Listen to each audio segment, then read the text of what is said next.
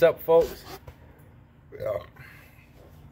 Welcome to O'Leary's Garden, where life is a garden. Quick disclaimer, this video will include alcohol and cigarettes. Okay, that's long enough for you to go away if you don't want to see any of that. So, I just wanted to talk to you real quick about the last video and what I told you about the IBC totes holding mulch colorant. So I did a little bit of research because I felt that I owed that to you about what was in the dye that was used in the particular IBC tote that was used in that last video. I did not go through every type of dye, every manufacturer, everything like that.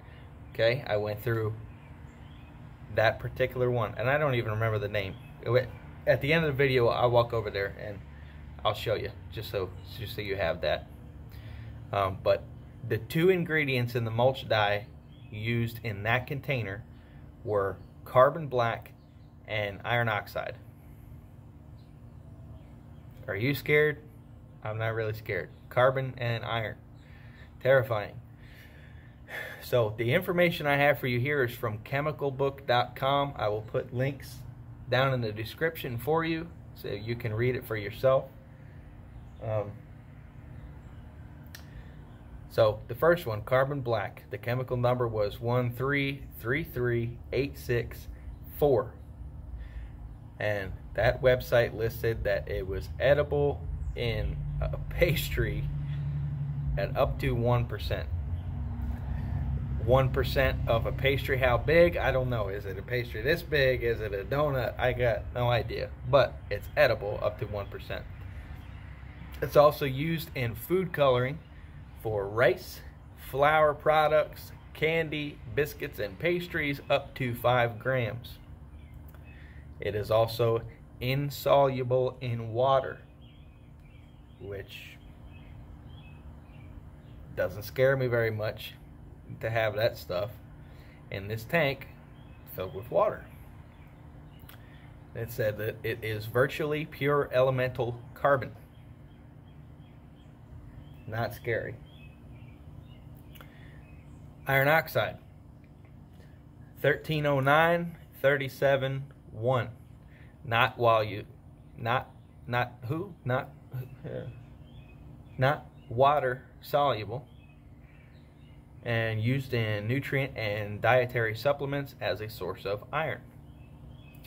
Again, I'm going to use them. I'm not going to, for legal reasons, I'm not going to recommend that you use them. But I'm going to be using it. I'm going to be using it for to water my chickens, especially since they're not water soluble. Neither one of those ingredients are water soluble. So it shouldn't be getting into the water. Now, I got an agronomist who lives next door to me. I could give him a, it's not really soil, but he might be able to work something out. Maybe I could test it, see if it's getting in there. I have no idea. But I'm going to be using it. I will be using it. And I will not be worried about it. Now here, we'll go back and I will show you the manufacturer. We'll go this way.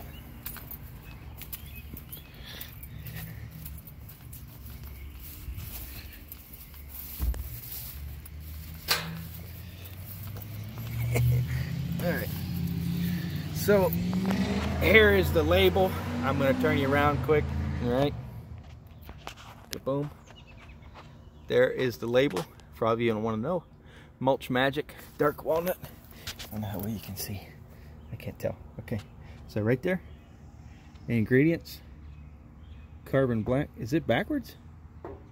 Might be black back back carbon backwards on your uh, your screen. I don't know. You can go back and pause that and mirror it or whatever.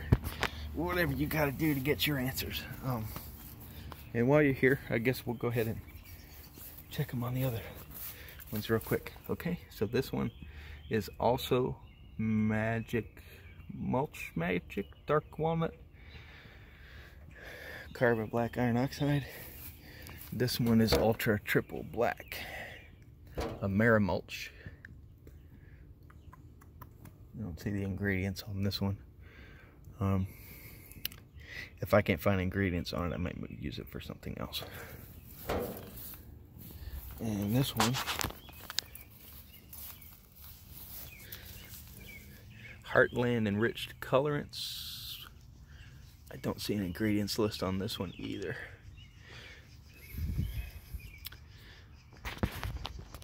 Alright, so non-hazardous metal oxide, non-hazardous pigment mixture, non-hazardous latex emulsion, possible carbon black. Okay. So those aren't as straightforward. They make me a little more nervous. So those two I probably will not be using for drinking water.